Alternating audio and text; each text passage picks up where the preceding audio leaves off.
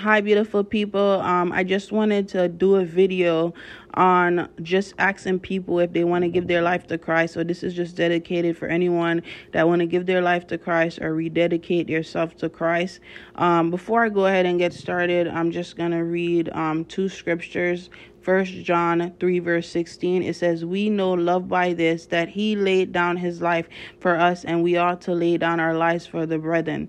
And then, so that was First John 3, verse 16. And then I'm going to read another scripture, Romans 10, verse 9, that it that if thou shalt confess with thy mouth the Lord Jesus and shalt believe in thine heart that God had raised him from the dead, thou shalt be saved.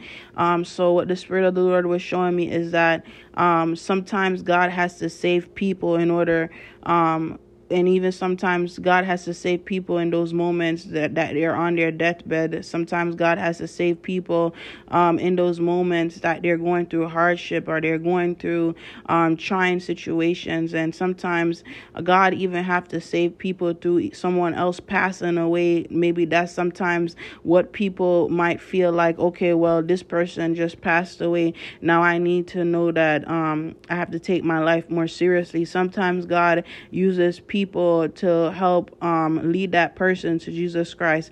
And um, one of the things that the Spirit of the Lord was dealing with me also is that sometimes He will even take someone's life right after being saved because that's the best way for them to keep their salvation. So you may be praying for someone in your family and you're asking, uh, asking the Lord to save them, but God hasn't saved them yet because He's saying that if I save them, I may have to take their life. I may have to take them off of the earth in order for them to keep their salvation and you may be someone that has experienced death in these um in these times and you're actually in the Holy Spirit if someone got their life right with Christ. But at this point if they already passed away all you can do is focus on what God needs you to do for you to be able to surrender and make sure your life is in right standing.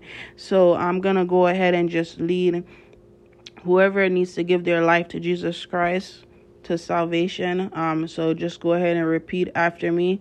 Um, Dear Lord Jesus, I know that I am a sinner and I ask for your forgiveness. I believe you died for my sins and rose from the dead.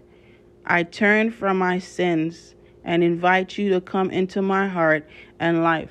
I want to trust and follow you as my Lord and Savior.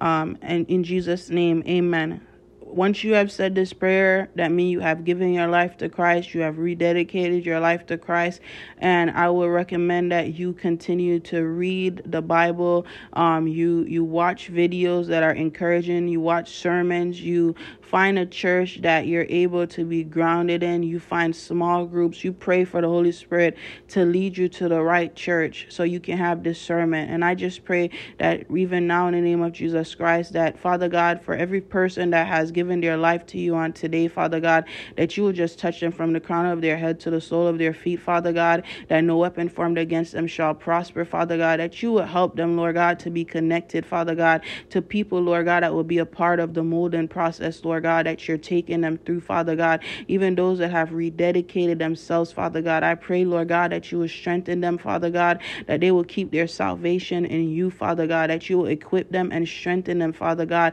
and bind up anything, Lord God, that will rise up against this prayer time, rise up against your life, rise up against your desires for them, Father God. We just thank you, Lord God, that their souls are safe, Father God, that they have the inheritance of God from Genesis to Revelation, that you have the promises of God. And I just declare and decree it that every doorway that has been open against your life, every pathway that has been making your walk crooked, I declare and decree that it is being straightened, that you are in the bloodline of Jesus Christ, and every spirit of infirmity, any form of sickness, any form of betrayal, any hurt, anything from your past that the enemy can try to come back and accuse you of. I declare and decree that it is washed under the blood of Jesus Christ. May those doors be permanently closed, Father God. I declare and decree that your presence will be upon your sons and your daughters in the name of Jesus Christ, and that they will walk with integrity, that they will walk with love, Father God, that they will walk with joy, Father God.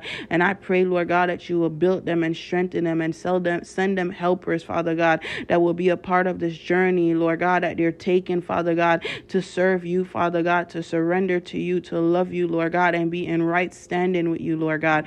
I just thank you, Father God, and I just glorify you, Lord. And we thank you, Father God, for this opportunity, Lord God, to serve you and to surrender to you, Lord. We just give you all the honor and all the glory in Jesus' name. Amen.